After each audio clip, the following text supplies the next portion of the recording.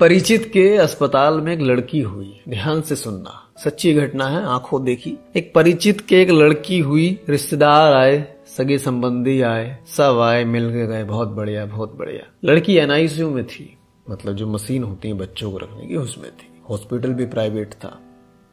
और वहाँ मिलने वाला हर एक व्यक्ति इस बात से परिचित था कि ये व्यक्ति की आर्थिक स्थिति क्या है। सब जानते थे कि व्यक्ति गरीब है, पर किसी ने नहीं पूछा कि कुछ धन की आवश्यकता है क्या। इसीलिए मैं कहता हूँ, यार, मत खर्चा करो दिखावे पे।